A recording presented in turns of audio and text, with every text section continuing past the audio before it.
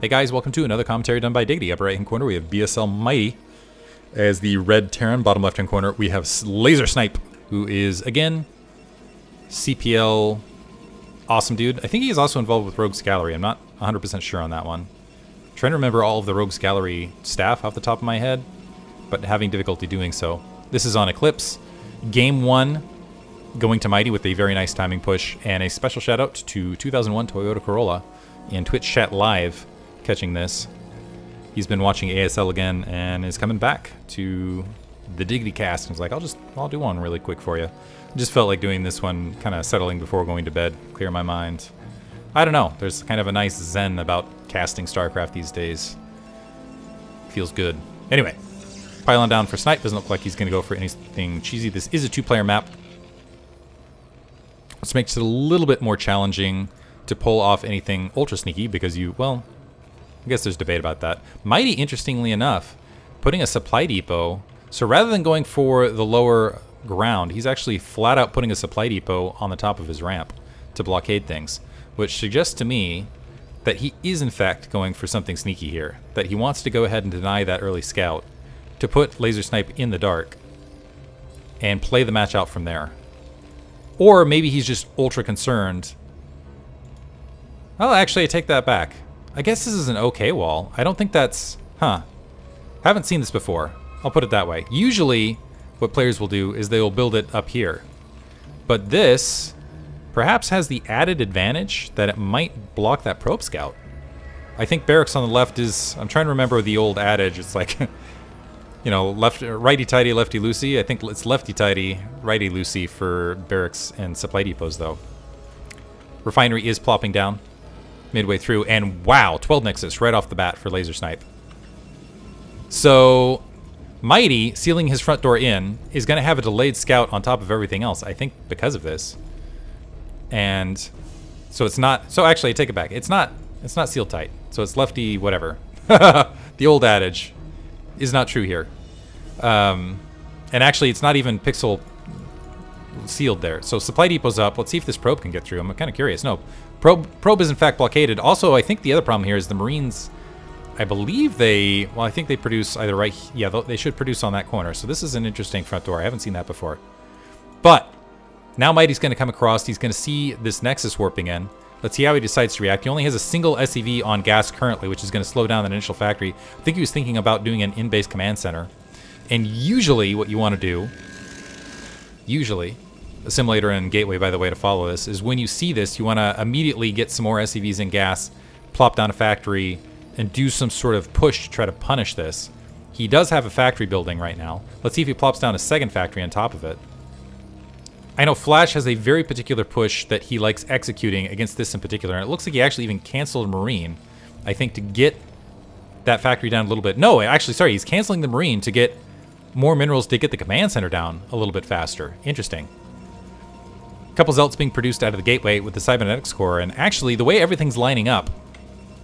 First of all, I think Snipe first has a sizable economic advantage. This Nexus was that's what happens when you do 12 Nexus. Because Mighty is not opting to punish it as well, and really not sending anything out to punish it. This is just first initial Vulture now, and I think there's going to be a Dragoon in not too long to go ahead and deal with it. Vultures can out micro Zealots, and provide a bit of punishment in that regard. They might be able, so getting initial probe kill, but I'm not sure they're going to be able to get much else.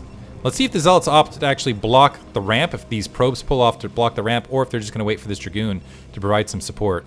I'm almost wondering if a couple probes get bled out, bled off by Mighty. Already got that one probe kill just getting that scout. If he's just going to dive into that probe line, the Zealots need to engage one another probe down, and yeah, I can just scoot right back into the main. The Dragoon should be able to engage here, but the question is, Two Dragoons should be able to engage here, but the question is, is how many probes die in the meantime. And it looks like not quite able to get the shot. Does manage to get catch that third probe. Four Vulture.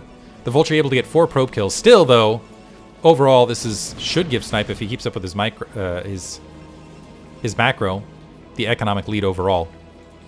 Command center is finished for Mighty on the opposite side of the map, but with those Dragoons out in the field, he's going to have to be kind of careful doing this. Looks like he's going to try to use mines defensively to try to secure this. Plopping down, is that a bunker?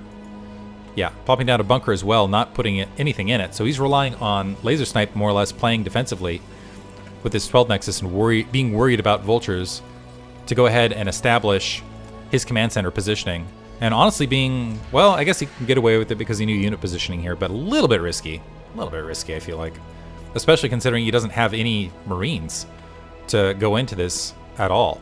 So basically what could happen is, this, this is all theoretical here, but Laser Snipe could have used the Zealot to clear mines, had the Dragoons sweep up behind, and then just started doing some annoying stuff behind that inside the base. Range is finishing up. Robotics facility plopping down a third and fourth gateway will be up for my or uh, sorry for laser snipe momentarily. I think he's waiting on 150 resources to go ahead and plop that down. He has gotten a second assimilator here. And very wisely, I like what Mighty's done here. He's already placed that Vulture here at the 9 o'clock position, just in case Laser Snipe was thinking about going for a more aggressive economic sort of play. Mighty has actually stayed right on top of that macro, though, and he is at 31 SCVs. So a very good position. That's a very well saturated natural expansion. He's plopped down two additional factories. So despite the 12 Nexus, I almost feel like Mighty is coming ahead here in this mid game. Getting that armory, and I think he's going to start also grabbing that academy just in case. Needs some sort of detection in case uh, DTs were on the way. He doesn't have indication of that just yet. Citadel of Adun warping in robotics facility producing that initial observer, and the vulture sweeping around. No mines, so just camping that vulture right there, also using this vulture to go ahead and check out that bottom right-hand base. I think what Mighty's going to do from this stage is probably play that two base, uh, I think it's 11 minute these days. I'm always off on this. I need to memorize my Terran build order timings, but I think it's like that 11, uh, potentially 11 minute one uh, level one weapons uh, attack timing. It's either that or you just sit back, wait for, I think it's level 2 weapons, level 1 armor, um, and like 6 factories, and to go for that timing push, which really puts pressure on your pro on the Protoss on the opposite side to either macro things properly or, I don't know, push things that direction. Two, wow, interesting. Gateways being produced, along with that Templar Archives, to get very quick Arbiters off two base. So we're going to see a two base Arbiter play from Laser Snipe to engage Mighty. Comsat stations plopping down. So this is pretty early Arbiters. Usually you'll see at least a third base before this level of tech is taken. He's also getting Zealot leg speed and producing a shuttle. Initial Comsat firing off. Observer going across that middle of the map, seeing spider mines. There's nothing, there's, just, there's no anti-air here at all, except for that Marine. And even if there was, there's nothing to detect this observer. So the observer should get a, an eyeful get a good look at the army he's up against. Four tanks currently on the ground. This is plenty of Dragoons and Zealots uh, to engage that in a heads-up fight. Has a good look at the factory count. That is a big indicator. And also, he should be able to wander up and see that armory spinning up above. Vulture also, is this just three Vultures camped at each location? I think it meandered from the bottom right, went to the upper left. A couple Dragoons moving forward. They need to be careful. Going to try to disarm these mines from a distance and get a little bit of map control that direction. So, we do see the Arbiter, the Arbiter Tribunal warping in. But Mighty is starting to sweep out, doing a little bit of mine planting. And is taking a little bit of map control just in case. Think it's wise to do so. Make sure he doesn't end up getting pinned in. But indicators still point towards, again, yeah, waiting for that level 1 weapons and continuing to macro up from there to just kind of push that attack. I think once that's coming, though, there should be an Arbiter out in the field.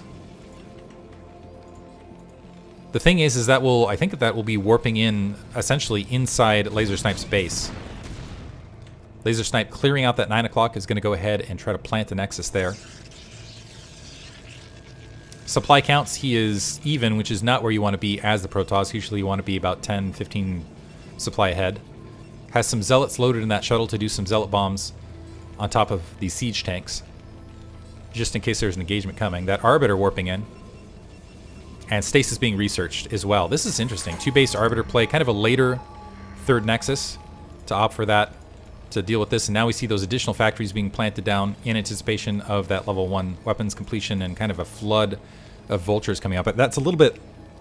That's interesting. I'm wondering if, actually if he's just to... We'll see. I might be off on this. Might be a little bit early, might be a little bit later he's actually looks like grabbing that second factory. So I think he's to, instead of going for this um, earlier timing with the vultures and the siege tanks and pressing out from there, he's instead going to opt for the level 2 weapons, level 1 armor upgrade in that timing right there, which is a little bit later. I think somewhere around the 12, 14 minute mark. Uh, Ghost actually being produced. And a covert ops. And maybe this isn't it. Wow, this is kind of clever play from Mighty. So I wonder if he's going to opt to go for lockdown to try to deal with this Arbiter, to negate the two base Arbiter play. With this attack that he's pr producing. Level 1 weapons being upgraded, by the way. For Laser Snipe, he's already behind in that upgrade count. Level 1 weapons versus level 0 weapons overall. Recall also being upgraded. So you can get that Arbiter recall. And, that, and basically, if that Ghost is in the right place at the right time and locks down that Arbiter, it can negate that. Just, yeah, completely obliterate that tech lead that Laser Snipe had momentarily. I, I have not seen that, honestly, in a lot of, in any stream. It's very creative. Very sizable army. This is very threatening. We're hitting that 1130 mark, which is usually, and I don't know how, how precise Mighty's timings are or anything like that, but this is, I think this is where I've seen that come out before. But he's, again, I think waiting for that level 2 weapons, level 2 armor. And the, the problem with this push for Protoss is just one, being in position to deal with it. Two, you make any movement mistake, you your entire army gets wrecked. And three, it's like, okay, do you harass them to try to slow it down? Do you try to get an additional base to get a additional macro? What what sort of tech do you work with and when do you get it? It's very, very challenging. Science Vessel's also out. So honestly, it's going to come down to some nice stasis from an Arbiter. Somewhere out where I've lost track of the Arbiter. Probe in that bottom right-hand corner is not going to die to that Vulture in the interim. Okay, there's the Arbiter. How much energy does it even have? We'll be able to produce one stasis. No protective cloak, though, because Science Vessel's still out there in the field. And Lockdown is, in fact, being researched. Very clever. And I'm almost wondering if a Ghost is going to get posted out here to provide kind of that defensive position. Also a couple Goliaths just in case. I don't think EMP's been upgraded just yet. Factories worrying. Finally, Vulture speed being upgraded. But right now, Mighty, as far as just straight up macro versus macro fight, Mighty has just completely obliterated light Laser Snipe. He's at 172 supply. Actually, Laser Snipe all of a sudden is leaping ahead, but at 161. But I think that's a lot of that, keep in mind, is inside the gateways and is not yet produced. Does have some Psi Storms. Level 2 weapons, level 1 armor, just now finishing. Mighty, rather than positioning for an attack, is positioning for more of a macro style game. He's kind of angling up to this 1 o'clock base. Or 12 o'clock base, approximately. So where is this? This would be 12. This is technically 1. Angling up to the 1 o'clock base to go for that for his third. I'm playing a little bit more long-term macro style. But never mind, just repositioning. I take it back. I was like, is he just not going to do this and go for that? No, he is in fact going for that, that timing attack. 13 minutes. Approximately. I think 12 minutes is like perfect. Maybe I'm off all the way around. High Templar waiting right there to maybe do some mine clearing. Hopefully, yes, if you're on, on top of it. Some Zealots pushing straight through. The Arbiter is going to be in his back corner. Siege tank sieging up. Is the Stasis going to be there? And is the Ghost going to be there? Doesn't look like it. Laser Snipe's going to go ahead and back off. Couple Zealots pushing forward and thinking better of it. Still, Mighty has 200 supply, and he has that huge weapon upgrade advantage. So, wow, Snipe just now hitting max supply. And if things continue, as they're going, Laser Snipe is going to take this match because he's already established four bases.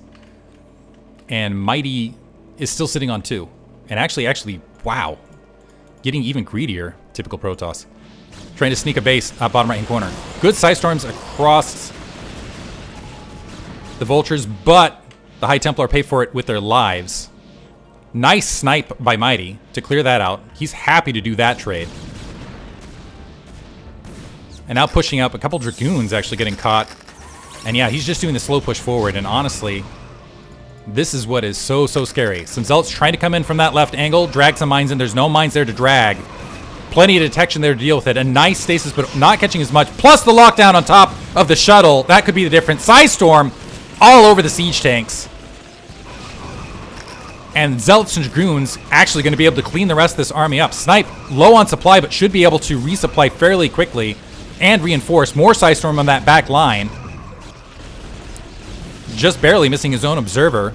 And a nice engagement on his part, despite, again, that level 1, or sorry, the general weapons disadvantage. These Vultures should be able to catch, well, I think they should be able to clean these Dragoons up, so should save those tanks.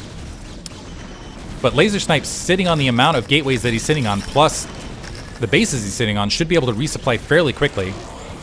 Plus the Arbiters are going to come out of stasis, and these over... Well, actually, never mind. Take it back, as that shuttle comes out of stasis, immediately gets annihilated by that Goliath. Nice little counter stasis to keep those tanks under wraps. But as that's happening, Laser Snipe is starting to establish these bases, and Mighty's still sitting at two. His main is looking very, very thin. His natural expansion is still mining, but he needs to think about taking additional base, and it's going to be difficult. As long as Laser Snipe stays on top of his macro management with all of these gateways, very much gateway man, and keeps producing these arbiters, he should end up in a good position. Right now, though, these are some very threatening vultures. There's only a single cannon to defend this 9 o'clock base. There's two cannons just warping in the bottom right-hand corner, although Mighty does not know about this. So this is basically five base Protoss, although it should be four base and not too long. That main is going to mine out. Versus what's going to be effectively one and a half base, two base, Terran. Mighty just now taking that one o'clock position. Vulture wandering in does see it, but very quickly gets taken out by the cannon. I don't think it even got a probe kill right there, coming in late. Critically, though, Mighty is doing a pretty good job of staying on top of his macro. He's once again 20 supply ahead, which is exactly where we want to be. An Arbiter moving in to cloak all these probes. Is there going to be a comsat? There's the comsat to try to clear this space out. And this is an overwhelming amount of vultures. The Zealots trying to swing in from underneath. Mines have been planted. That's going to clear a lot of those Zealots out before they're able to provide any form of defense. Arbiter desperately trying to attack from overhead. Good Psi Storm. Well, actually, I take back. Psi Storm I thought was going to clear those mines. Didn't catch a lot of those mines. Didn't catch any vultures either.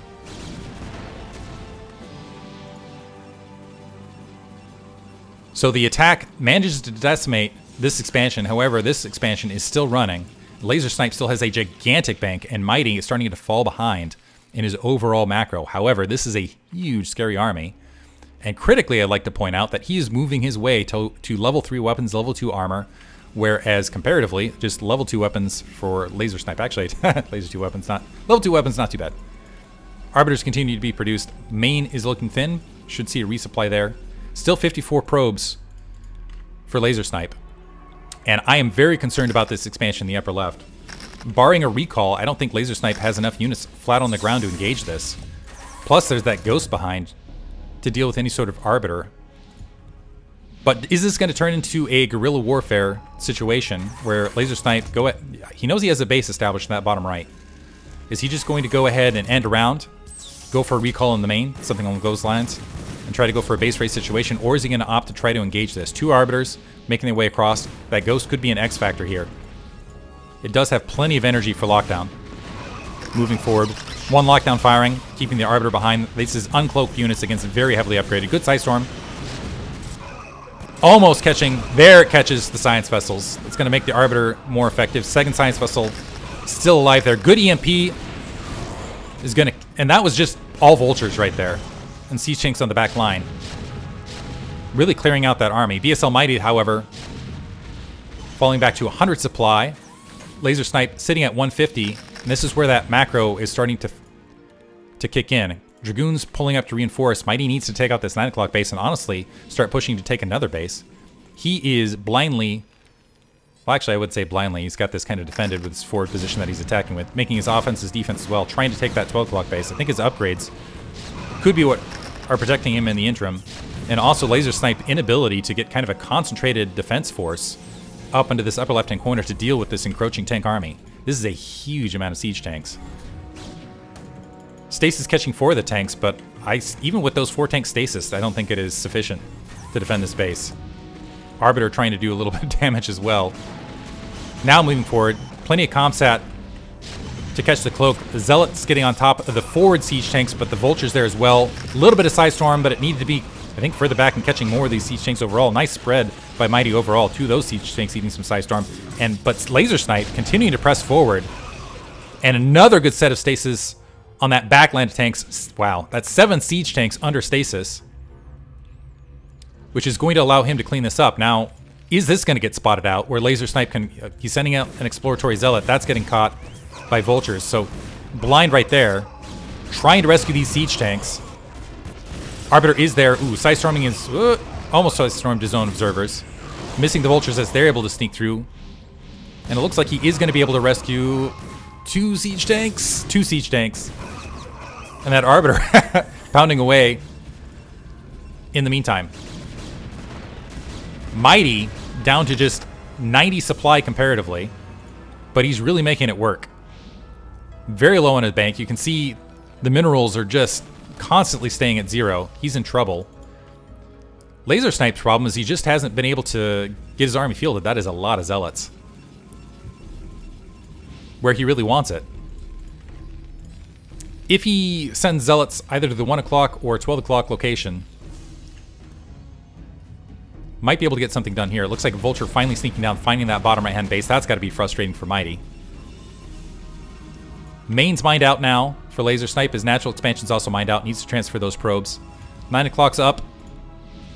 10 o'clock's up. And he is just now establishing this additional base in that bottom right-hand corner. Mighty going to head and it's going to try to seal up and regather. But here's the thing. Laser Snipe is approaching 200 supply. And eventually, he's going to start going on the offensive here. This is a lot of vultures. Not quite in position to sneak down. I don't think they're aware. Might have seen a comsat across here. There's only a single Dragoon to block that ramp, and that's not going to last very long. Laser Snipe repositioning his army. An observer kind of checking out what's going on in that base. Catching a couple siege tanks. Open and vulnerable. Splitting the map in half. Now Laser Snipe has some options. Vulture's sneaking in. I don't think... Well, they might be able to take out that Nexus unopposed. But while that's happening... Good stasis. Ghost managed to catch that Arbiter. Good Psi Storms. Well, Psi Storm only catching... Well, catching the Science Vessel. That could be huge. I think Science Vessel still detect with stasis and the Arbiter is locked down anyway. Zealot's cleaning up these back siege tanks, and that's leaving that command center completely exposed. Some siege tanks trying to provide some defense, but they're going uphill meaning they have that misfire chance. SCV's also eating some lightning from the sky from those High Templar. That Nexus was taken out in that bottom right-hand base, but in the overall exchange, being that Laser Snipe's at 160-something supply, and Mighty is dropped to 63, I think he's happy to go ahead and take that exchange. Plus, he's already reestablished this base in the bottom right-hand corner. And I don't see any army. This is a very thin army for late for Mighty. Archon, a handful of Zealots, and a couple Dragoons moving in here. Only Vultures there to provide any form of defense. And the command center lifting off. SCVs flooding out desperately. Archon bugging out a little bit, not able to get some free shots. Could have really devastated this line. That is a lot of SCVs in flight. And now Mighty is no longer mining, pulling that command center back. He has 600 minerals to his name and is otherwise completely not mining. I expect to see GG, but here, going to be able to catch a lot of High Templar in free field. Doing some desperate Psi Storms. Again, a better exchange for Mighty overall. So doesn't have a lot of minerals to work with, but with what he has, he's doing a pretty good job. Everything cleaned up. Honestly, all Laser Snipe needs to do at this stage is continue to macro, Mighty trying to distance mine, but he's distance mining right into some Archons and some Zealots. So I don't think he's going to get a lot accomplished there. Down to 54 supply versus 185. Still desperately trying to stay in this match, though. And again, this is just... The only reason this is not over, in my opinion, is the fact that Laser Snipe, with his macro, has just not been able to get his armies out in the field. He's been playing Gateway Man. He's got plenty of gateways back here. Stargate's been producing constantly. Just now getting level weapons 3 upgrade. Another lockdown there on the front. But really, it's just he hasn't had a concentrated army to just finish it. Just do the Mortal Kombat move, do the Mocking Uppercut, etc., etc. Zealots moving into that SCV line. Siege tanks are going to get wiped out fairly effectively. And Dragoons starting to peel things up. There's GG from Mighty, finally. So game two, going to Laser Snipe. One apiece. Hope you guys enjoyed it. Wow, got the raid from Artosis, I'm noticing, as we come back. Hope you guys enjoyed it. Uh, thanks for listening. I will engage with Twitch chat now.